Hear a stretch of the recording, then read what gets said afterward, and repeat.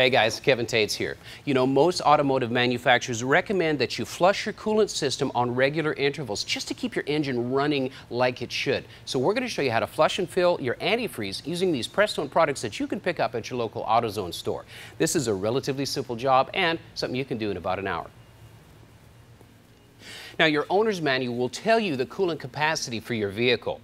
Don't have an owner's manual? No worries. Your local AutoZone has all the information for coolant capacities on most vehicles. And always use the manufacturer's recommendation for both coolant capacity and the type of coolant, as well as the service intervals. Antifreeze is poisonous, so always handle with care. Don't pour it down the drain or out into the street. And when done, you can use your old jugs to bring your old coolant to the local recycling center. Now, tap water can contain minerals and additives that can cause your internal cooling components to rust or corrode over time. Distilled water has no minerals, so it's the best way to ensure that you've got the cleanest possible fluids running through the internal cooling systems of your vehicle. Distilled water is easy to get at your local grocery store and it's inexpensive, so it's definitely something that we recommend. Now, when you're flushing your system, tap water is perfectly fine as long as you follow it with a final rinse with distilled water prior to adding your new coolant. Now you've got a choice when you're buying antifreeze. You can either go with a 50-50 premix or 100% antifreeze. And the choice is yours, either one is fine, but we recommend buying the 100% antifreeze and mixing it with distilled water. That way, if you live in a part of the country with an extreme range of temperature, either hot or cold, you can custom blend your antifreeze mix based on the demands of your environment. First, you want to make sure the car has been sitting for a while and it's not too hot to touch. We're good. And now is a great time to inspect radiator hoses and clamps and make sure nothing's dry rotted or cracked. If you find things that need to be replaced, you can go and pick them up at your local AutoZone. Now, you need to locate the pressure cap on the systems, typically right here on the radiator tank. What you want to do is open that cap, which lets air into the system and helps push the antifreeze out the bottom when you open up the drain port. Now, obviously, we've got a car jacked up, but it's just to give you a better look at what we're doing. Make sure that you have safety glasses and some gloves on hand to do this job. Safety glasses keeps the dirt from falling in your eyes when you're under the car, and gloves, well, they just keep your hands clean because antifreeze is nasty.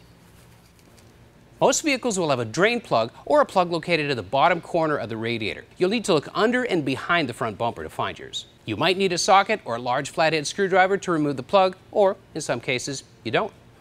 Now, you've got to have something to catch the old fluid from the bottom of the radiator. And I recommend a bucket like this because it's open in the top and it's got a spout on it so you can easily pour the old antifreeze back into the buckets. We got ours at AutoZone.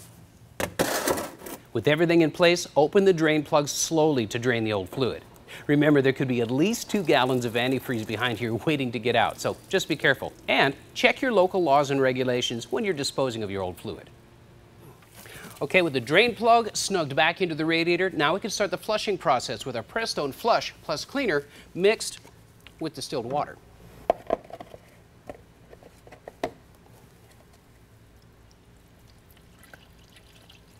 Some cars require special fill procedures, so you might want to check your service manual for any special fill procedures on your vehicle.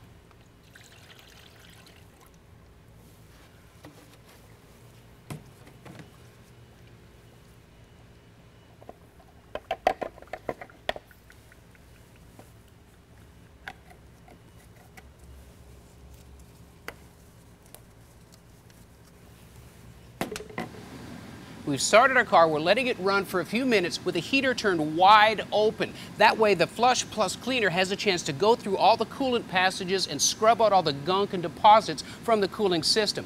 Keep in mind, do this in a well-ventilated area with the garage door open, or if you're doing it with the door closed like we are, route the exhaust outside the building. We let the car run until it got good and warm and had a chance to run everything through the cooling system. Then we shut it off and let it cool down for about 15 minutes. Now, we're going to repeat the flushing process.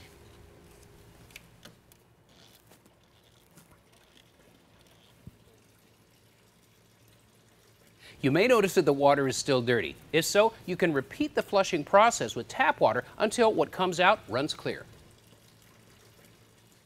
We've got the distilled water drained out and our drain plug back in. Now it's time to install the new coolant. We're going to use the 100% concentrate and distilled water and make our own blend of 50-50. There's an easy way to do this. You don't have to play Mr. Wizard. Just take one of your old distilled water jugs, pour it halfway up with the Prestone 100% antifreeze. And by the way, pour from the side so you get the right water displacement. You don't get any spillage or it galoshing out of the top. And pour up to the halfway point on your empty jug. All right, now just fill it the rest of the way up with distilled water.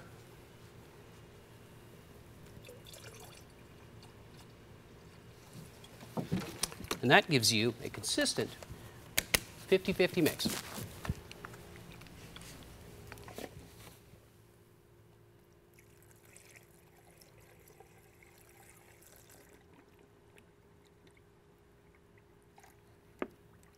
All right, now we can start the car and it'll pull the rest of that down in there.